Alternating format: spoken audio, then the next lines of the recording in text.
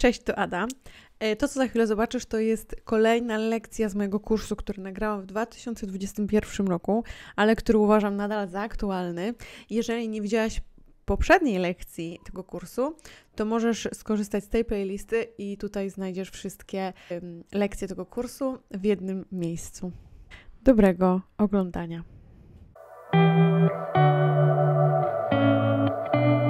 Witam Was w trzeciej lekcji modułu drugiego i zabieramy się za planowanie w prawdziwym świecie. Co to oznacza? Nasza lista zadań do zrobienia, którą stworzyłyśmy sobie w Asanie, którą stworzyłyśmy sobie w zeszycie, na karteczce, w Milanoucie, w ClickUpie, nieważne gdzie, przyjmie wszystko. Nie ma tam limitu zadań, które możemy sobie oznaczyć na dany dzień. Możemy sobie nawet oznaczyć, nie wiem, 20, 30 zadań, ale nasza doba, nasze możliwości i nasza psychika ma limit. I ten limit jest um, szczególnie na początku, kiedy wszystkiego się uczymy i kiedy wszystko jest dla nas nowe, jest ograniczony w jakiś sposób.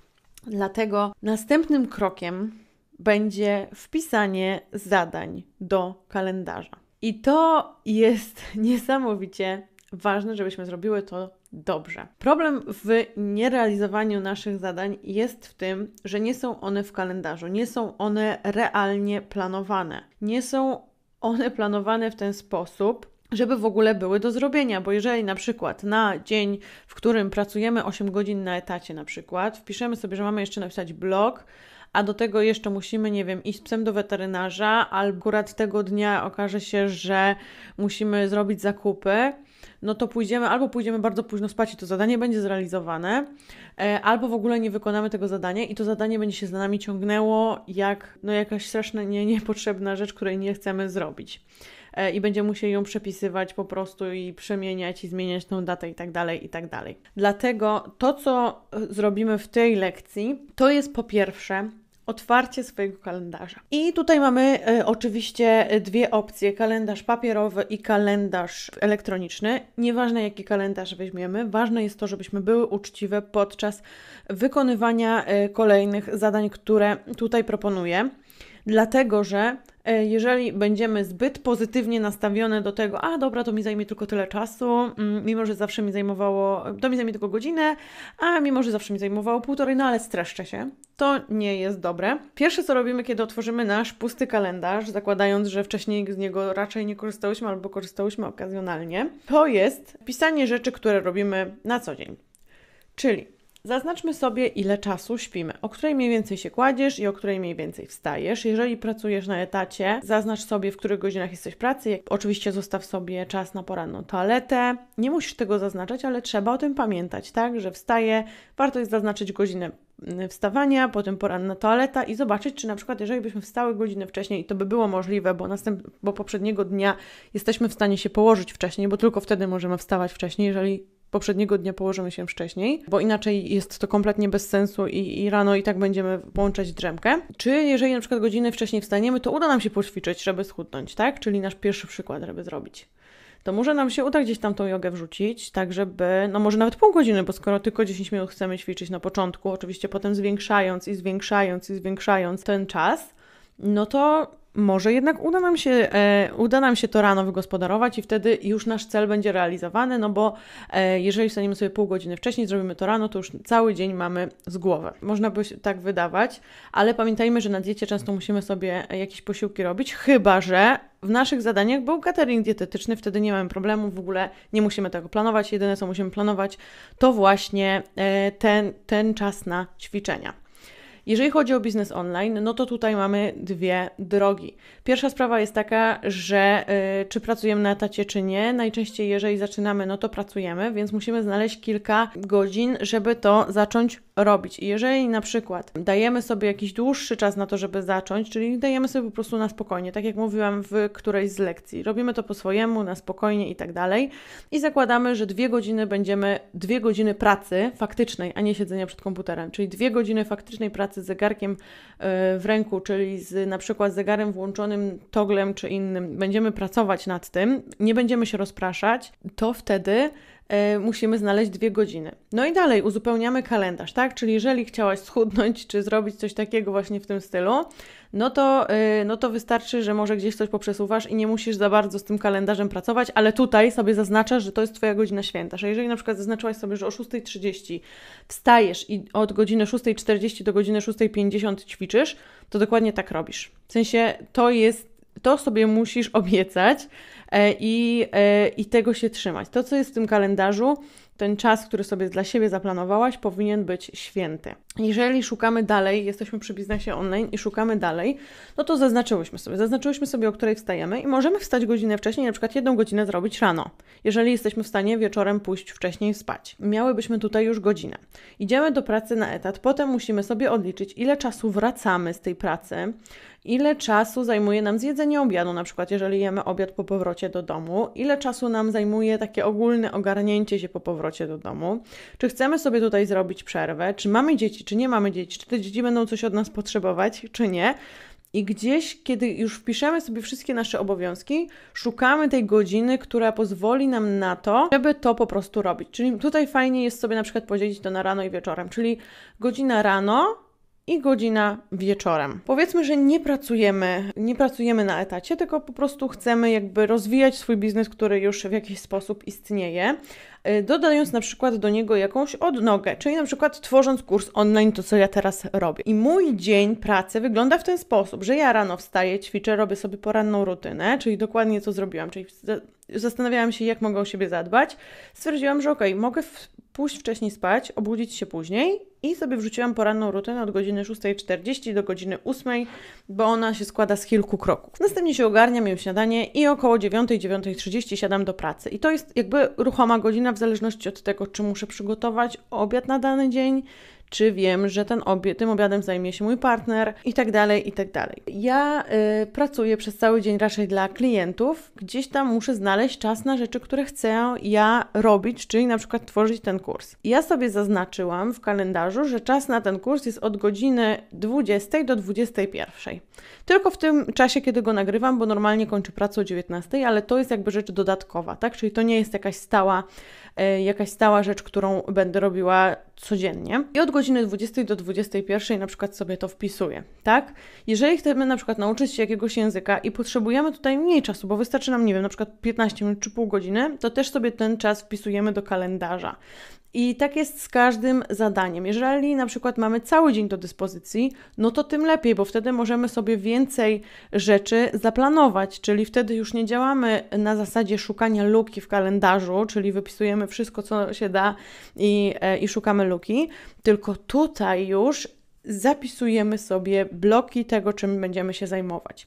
I to, co jest bardzo ważne w tym miejscu, to jest robienie sobie zapasu czasowego. Na przykład, powiedzmy, że ja planuję sobie cały dzień pracy, no bo cały dzień jakby jest do mojej dyspozycji i mam do zrobienia klientkę A, klientkę B i klientkę C i wiem, że muszę zrobić dla nich jakieś tam rzeczy I wiem, że na przykład klientka, e, klientka A zajmie mi pół godziny, klientka B około godziny, a klientka C około 3 godzin, tak? Zadania do niej. E, ustawiam sobie w bloku jakby takim tematycznym, czasowym, czyli blokuję sobie czas w kalendarzu właśnie na to to, co robię, to dodaję sobie do klientki A, dodaję sobie 15 minut, no bo zajęłam, raczej powiedziałam, że to pół godziny zajmuje. Ja już jakby mam wprawę w tym, pamiętajcie o tym, że ja już wiem mniej więcej, jak to wygląda.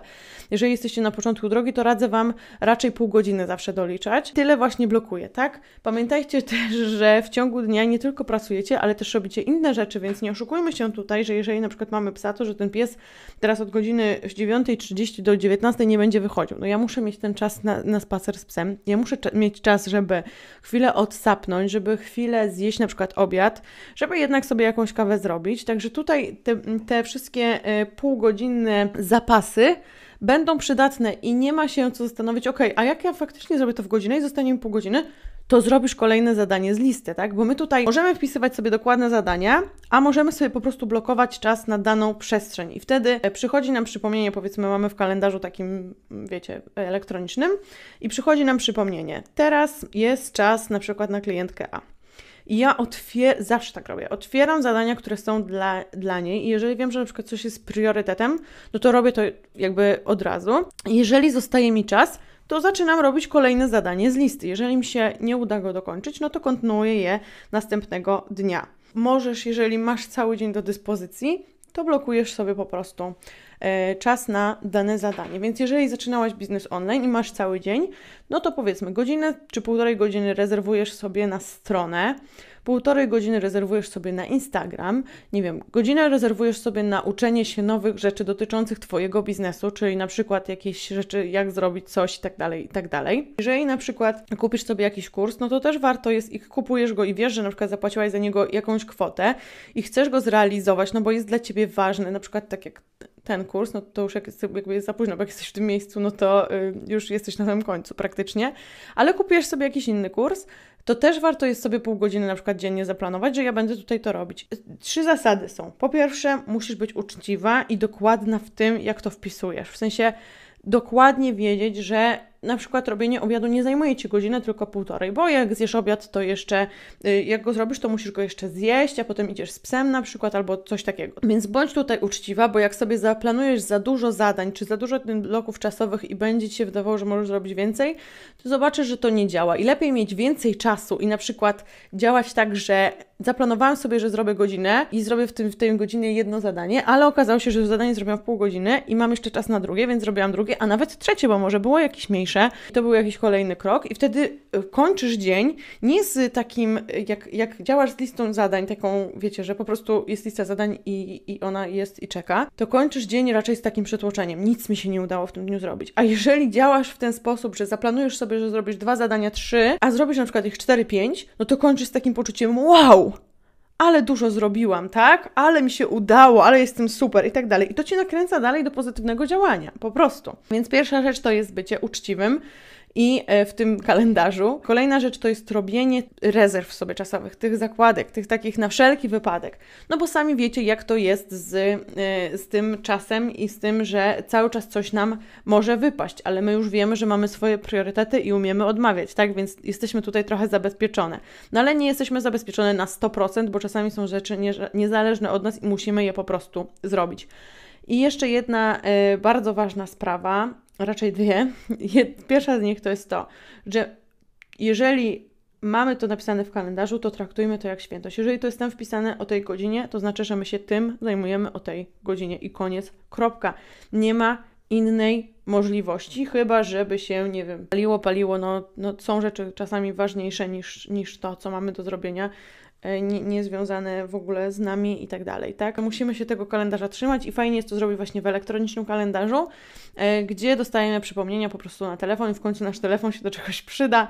Oczywiście żartuję, ale przyda się do tego, że będą nam przychodzić przypomnienia, że teraz powinna się zająć tym i koniec, kropka. A druga rzecz jest taka, że jeżeli na przykład bardzo długo nie mogłyśmy się na coś zdecydować, żeby zacząć coś robić, bardzo długo nie mogłyśmy e, po prostu się zebrać do tego i teraz właśnie z tym kursem chcemy to zrobić, znalazłyśmy ten czas, to jeżeli mamy wybór zrobić coś rano, a zrobić coś wieczorem, to błagam Was, wybierzcie rano.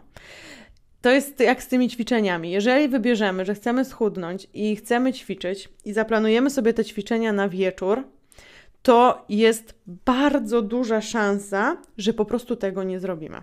Wieczorem może nam wypaść cokolwiek. To już jest Wieczór to już jest nasza wola e, tego, żeby być e, super zorganizowanym wieczorem jest wydaje mi się najmniejsza. Więc jeżeli zaplanujemy sobie coś na wieczór, to jest najgorsza pora, tym bardziej dla początkujących, tak? Więc, więc warto jest zaplanować sobie to na rano. Ok, mam nadzieję, że to, co mówiłam i to, co widziałyście na slajdach, było y, dla Was przydatne i już wiecie, jak to zrobić. I naprawdę polecam robić tak, że żeby ten kalendarz był Waszym wyznacznikiem, tak? Bo ten kalendarz Lista zadań jest, ma nie, jest nielimitowana. W sensie tam przyjmie wszystko. Kalendarz nie przyjmie wszystkiego, bo jeżeli na przykład, bo, bo po prostu tam jest czas, tak? I on, jak, jak go zablokujemy, no to jest koniec. To już widzimy, że więcej po prostu nie damy rady, tak? I, i, yy, i tyle. Mam nadzieję, że Wasze zadania związane z realizacją Waszego celu są zapisane w kalendarzu albo będą za chwilę zapisane w kalendarzu. Trzymam mocno kciuki za Twój rozwój Twojego e, projektu, Twojego celu, za realizację Twojego celu, za spełnienie Twojego marzenia, które założyłaś sobie na początku kursu. Bardzo dziękuję za udział w kursie. Jest to ósma lekcja i ostatnia. E, I bardzo się cieszę, że dotrwałaś do tego momentu. E, jeżeli ten kurs okazał się dla Ciebie przydatny, proszę zostaw mi jakiś znak, subskrypcję, komentarz bądź łapkę w górę. I jeśli poszukujesz więcej takich treści, to zapraszam Cię też na mój Instagram, bo tutaj i na Instagramie dzielę się właśnie takimi treściami związanymi z zarządzaniem czasem, tworzeniem marki osobistej, no i e, różnymi rodzajami narzędzi, jak się niej posługiwać. Także e, jeżeli interesuje Cię po prostu rozwój biznesu online, marki osobistej, to myślę, że moje treści jak najbardziej będą dla Ciebie. Dziękuję Ci bardzo za poświęcony czas i do zobaczenia w kolejnych filmach. Pa!